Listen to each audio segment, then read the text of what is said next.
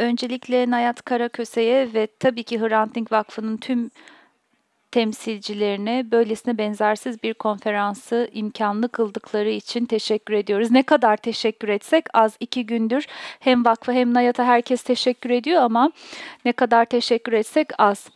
Hepiniz çünkü katılacaksınız e, bana diye düşünüyorum. Böylesine önemli bir e, uluslararası konferansı hafıza alanında e, gerçekleştirmeyi bekliyorduk. Dört e, bir yanından dünyanın farklı tanıklıkları, hafızaları, müzelerde, kamusal alanlarda estetik dijital müdahalelerle nasıl ortaya koyabiliriz bunu görmeye çalışıyoruz. Arundhati'nin yazar, meşhur yazarın da söylediği gibi aslında seslerini duyuramayanlar diye bir şey yoktur. Ya bilerek duyulmayanlar vardır ya da sessiz kalanlar vardır diyor. Yani kişisel tanıklıklar ve hikayeler çerçevesinde biz bu panelde de önemli bilgiler alacağız ve duyulmayan hikayeleri dinleyeceğiz. Unutma siyasetinin e, anestezi siyasetinin güdüldüğü bir dönemde bu hikayeleri ortaya koymak, özellikle çatışma sonrası dönemlerde bunu yapmak, hikayeleri anlatanların sadece yaralarını sarmasına yardımcı olmuyor ama aynı zamanda dinleyenlerin de zor geçmişlerle etkileşime geçmesini sağlıyor ki böylelikle onlar da kendi düğümlerini çözebiliyorlar. Geçtiğimiz iki gün içerisinde aynı zamanda hikayelerin özellikle eski binaların duvarlarında takılıp kalan, e, bina temellerinin e, mahzenlerinde kalan, sinagoglarda kalan bu hikayelerin nasıl görünür hale getirildiğini, bunun hafıza mekanları, sanat eserleriyle, podcastlerle nasıl yapıldığını gördük hafıza ile ilgili mevcut politikaları e, politikalara meydan okuyan çalışmaları dinledik. Bunlar gerçekten çok dönüştürücü ve farkındalık yaratıcı. Tabii ki bunları yüzeye çıkarmak da zor ama bireysel hikayeler ve tanıklıklar çok güçlü. Sadece hikaye anlatanı insan haline getirmeye yaramıyor. Dinleyene de aynı etkiyi yaratıyor. Ve bu zamanlarda ne kadar az kişinin dinlediğini başkalarını biliyoruz. Herkesin sesi çok çıkıyor belki. Pek çok şey şey söyleniyor ama gerçekten dinleyenlerin sayısı çok az. Bunu görmeliyiz ve düşünmeye daha fazla e, yer ayırmalıyız. O yüzden ben de bu harika panelistlerimizin tüm dünyadan gelen Sri Lanka, Lübnan ve Saraybosna'dan gelen panelistlerimizin sunumlarını dinlemeyi dört gözle bekliyorum. İlk konuşmacımızı Radika Heteriachi'yi takdim edeyim. Radika bir araştırmacı, küratör ve kalkınma görevlisi 13 yıldır barış inşası alanında çalışıyor. Sözlü tarihten ve çatışma dönüşümüne dair kamusal bir söylem, güvenlik, geçişli adalet, demokratik değerler oluşturma ve şiddetin tekrarlanmasını tekrarlanmamasını sağlama kanalları olarak kolaylaştırılmış diyalog ve sanattan faydalanıyor. UNDP'de ve International Alert'te görev alan Radika, çalışma ve şirket sorumluluğu, topluluk diyaloğu yoluyla sivil toplumun güçlendirilmesi ve medya yardımı aracılığıyla sosyoekonomik istikrar, istikrar yaratma yoluyla çatışma önleme ve savaş sonrası iyileşme alanlarında ve ayrıca Sri Lanka diasporasını barışa angaja etmeye yönelik çalışmalar gerçekleştirdi. Kamusal tarih çalışmaları arasında içerisinde Her Stories projesi ki web sitesine bakın lütfen bizimle paylaşacak herhalde ve topluluk anıtlaştırma, hafızalaştırma projesi yer almakta. Bir hafıza haritası çıkartılıyor. memorymap.k'den ulaşılabilmekte. Her iki çalışmada şiddetin tekrar etmemesi için insanların tarih anlatılarını toplamak, arşivlemek ve kullanmak amacıyla sözlü ve sözlü olmayan ifade biçimlerinden faydalanmakta.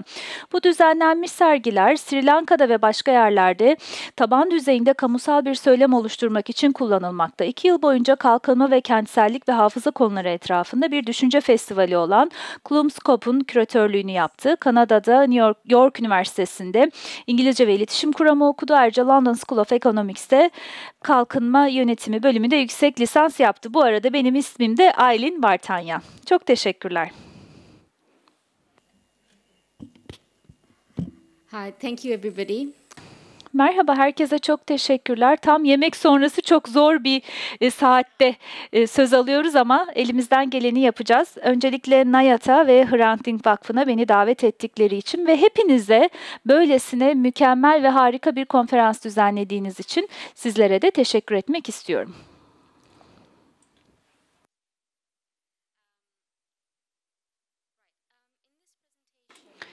Evet, bu sunumda ben biraz.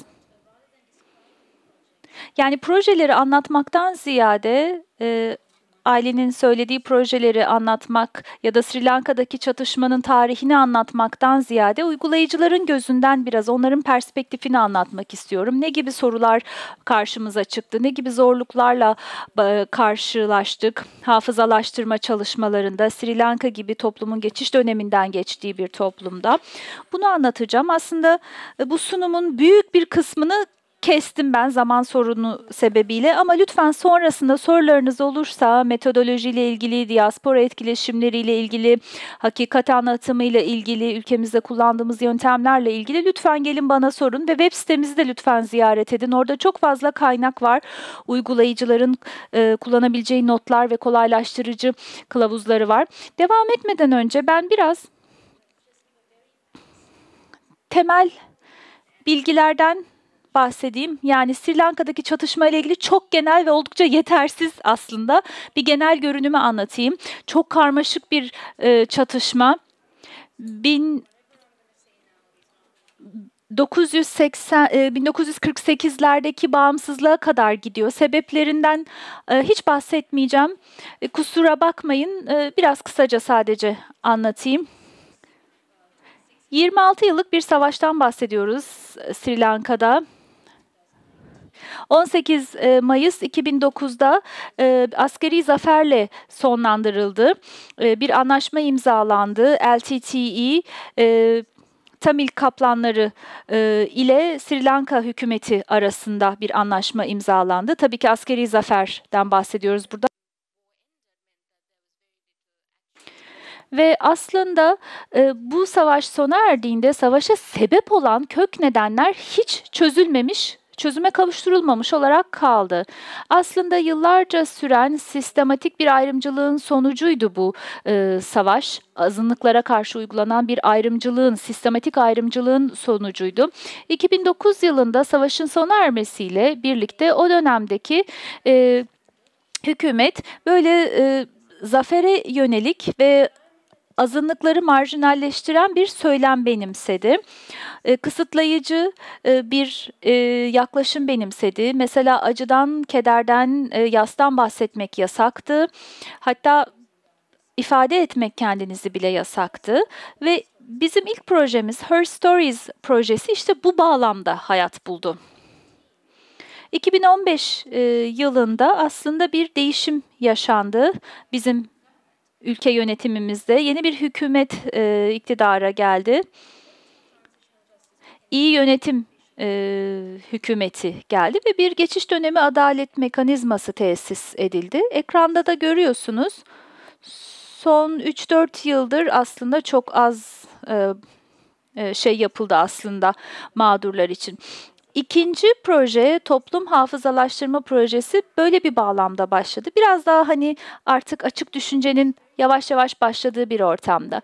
Şimdi devlet ve LTTE tarafından hafızalaştırma çabalarına bakacak olursak farklı bir anlatım olduğunu görüyoruz. Ama tabanda da uygulamalar gerçekleşti savaş boyunca da. Mesela burada sığınaklar, e, otobüs sığınakları e, dediğimiz veya işte küçük mabetler, ibadet alanları, yol kenarında e, bu mekanları gördük. Ama aynı zamanda hem hükümet kendi mitini e, ortaya koymak istedi hem de LTT yani Tamil Kaplanları da kendi e, yönetimini ortaya koymak istedi, anlatımını ortaya koymak istedi. Hafızalaştırma açısından aslında bazı anlatıların hayatta kalamadığını görüyoruz. Ekonomik toparlanma, siyasi konumlandırma insanların neleri hatırlaması gerektiğini seçmeye itti onları. Bu dönemde çok hassas ve kırılgan olduk ve bunun bir kısmı tabii ki e, insanların kendi kendine uyguladığı sansürle de bağlantılandırılabilir ki ondan çok bahsetmeyeceğim.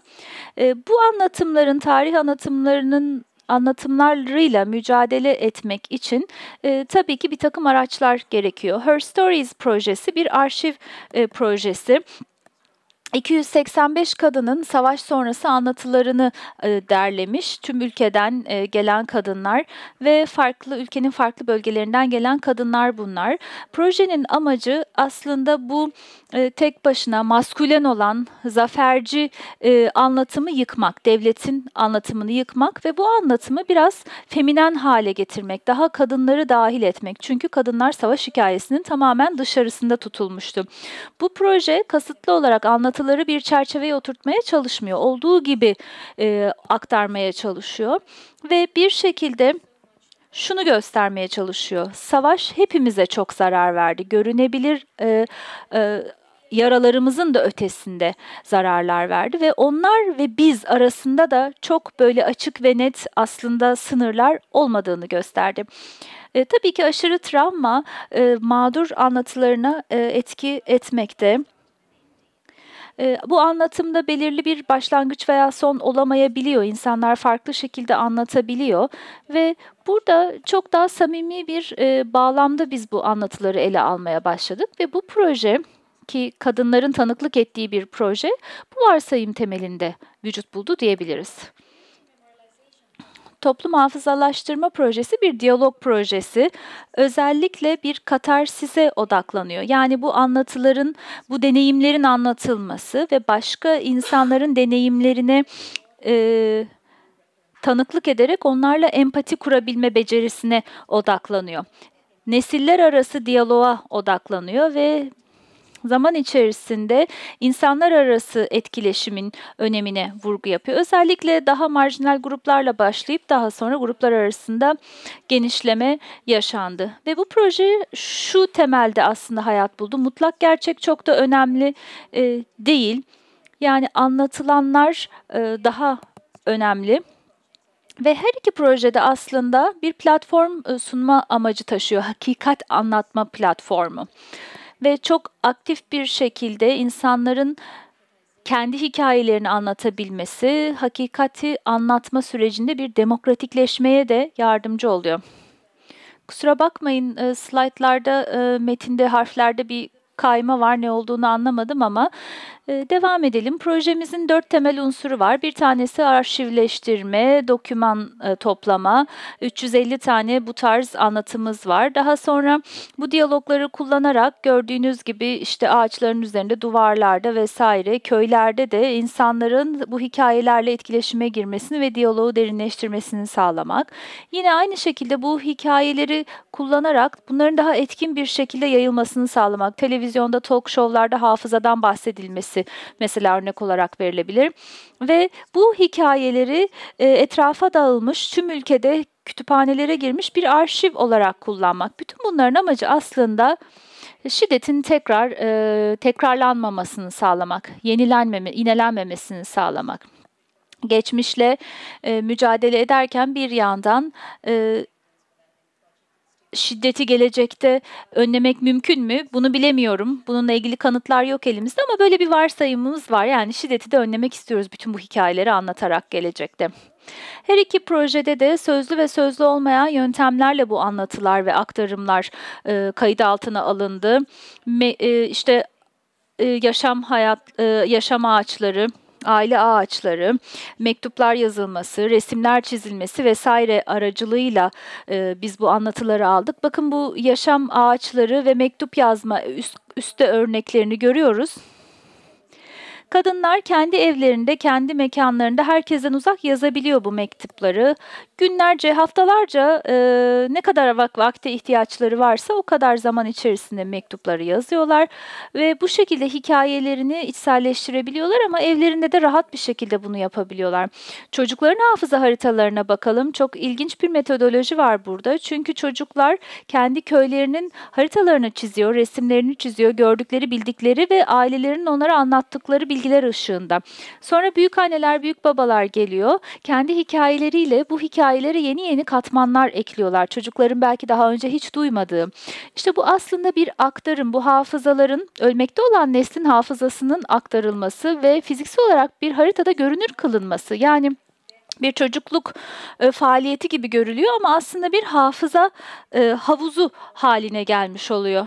Çok farklı metodolojiler var ama şu anda vaktim olmadığı için giremeyeceğim. Sonra size gösterebilirim ama bazı bireysel e, geçmişleri de anlatabilirim ya da internetten girebilirsiniz. Her iki projede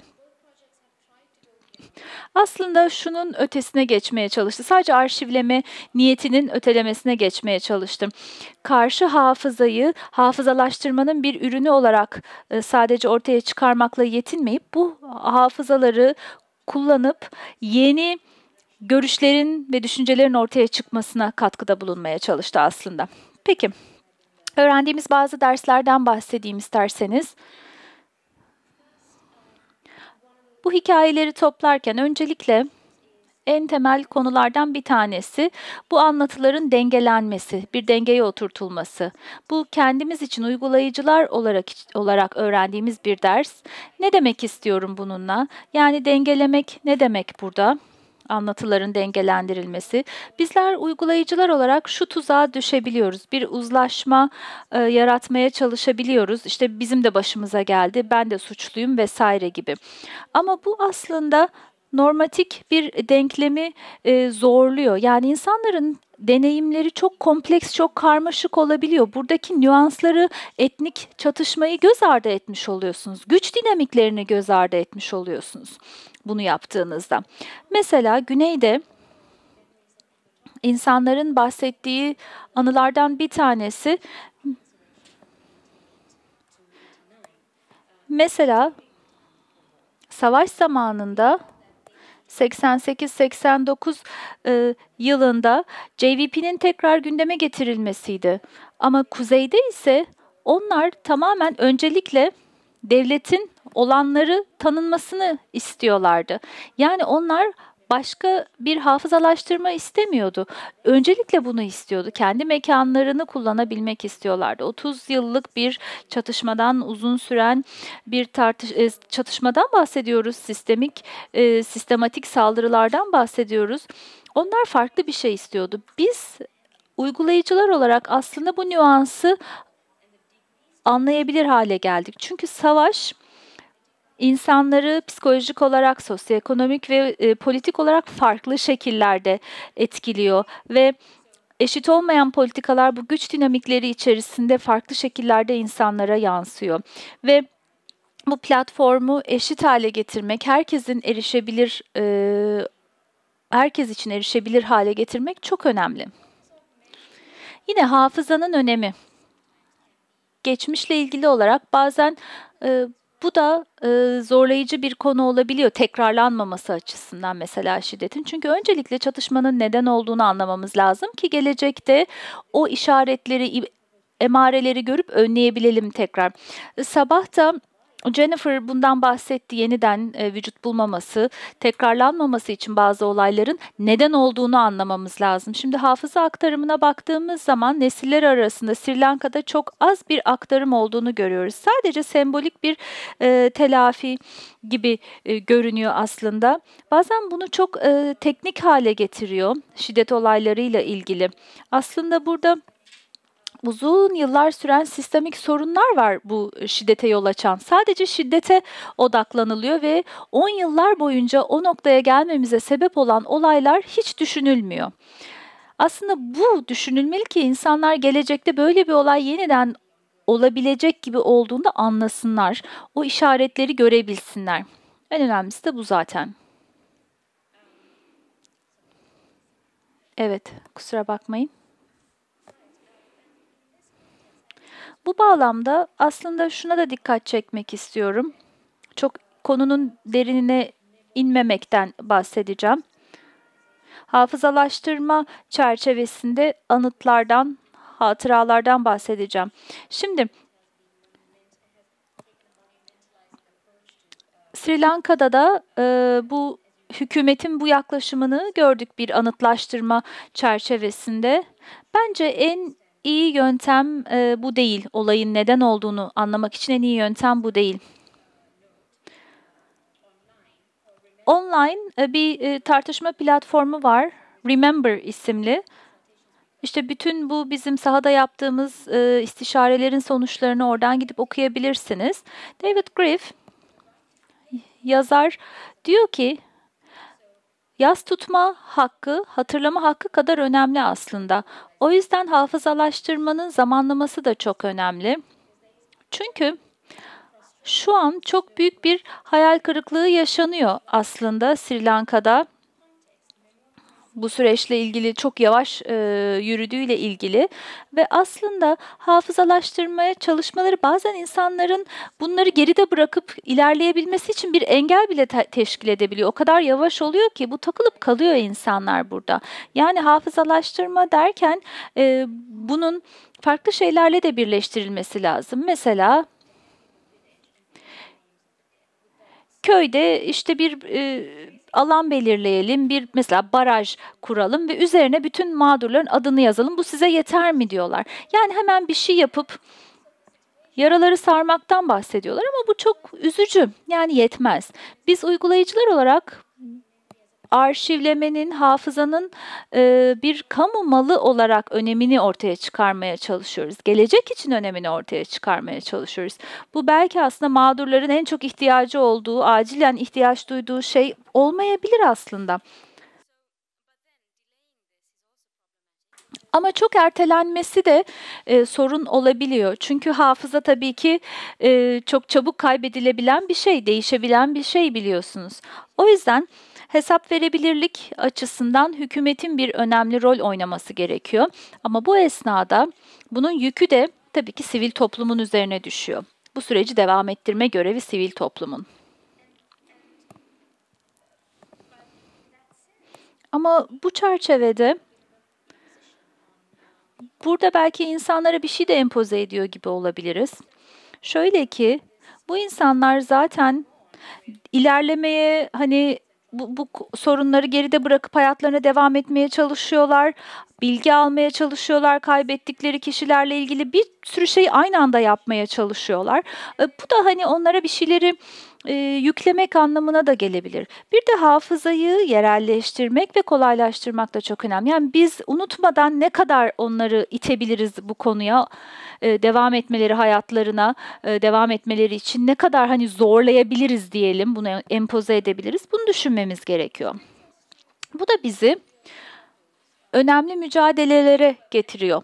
Şimdi devam etmeden şunu söyleyeyim bu arada. Biz uygulayıcılar toplumu olarak aslında işte bu yerel hafızanın romantik hale getirilmesi vesaire, kimin hafızasını, hatıralarını nasıl hatırlayacağız bunlara da bakmamız lazım ama bunlardan bahsedecek vaktim yok. Belki kahve arasında e, isteyenlerle konuşabiliriz. Burada da bir başka kadının hikayesi var. Kendi oğlu için adalet arayan bir kadın ve bunlar da yine bizim topladığımız hikayeler. E, biz hikaye topluyoruz ama bu hanım, bu kadın aslında bir... E, cevap bekliyor. Bu da çok hayal kırıcı, hayal kırıklığına uğratıcı bir durum. Çünkü bizim e, beklentilerimiz ve ihtiyaçlarımız farklı. O bir cevap bekliyor, biz sadece o anlatıyı almayı bekliyoruz. Bir de buradaki jeopolitik savaş alanından bahsetmemiz lazım. Yani... E, donörlerin de önceliklerine uyması gerekiyor bizim çalışmalarımızın yoksa bir sorun teşkil ediyor. Bu da aslında projeleştirme, hafızanın projeleştirilmesi zorluğu. Ben uydurdum bu kelimeyi bu arada projeleştirme diye bir şey var mı bilmiyorum. Belki de vardır.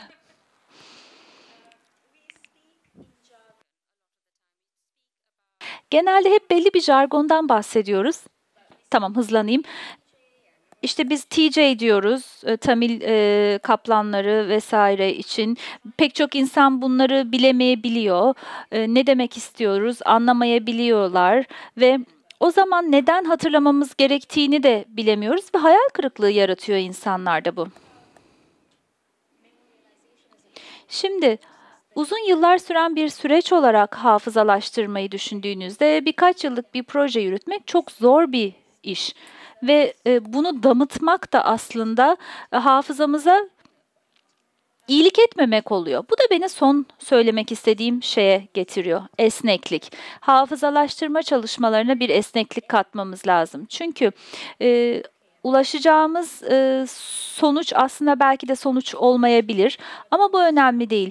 Donörlerimize de, bağışçılarımıza da bu esneklikten bahsetmeliyiz projelerimize destek bulabilmek için. Geleneksel proje çerçeveleri bazen bazı bağlamlarda hafızalaştırma gibi çok duygusal bir bağlamda, kişisel bir bağlamda hiç etkili olmayabiliyor. Şimdi mesela bakalım burada bir değişim teorisini görüyoruz. İlk başladığımızda proje nasıldı? Sonradan ne hale geldi? Bakın biz bu böyle başladık ve projenin ortalarına, sonlarına doğru çok daha böyle temiz bir hale geldi o karmaşık görünümden.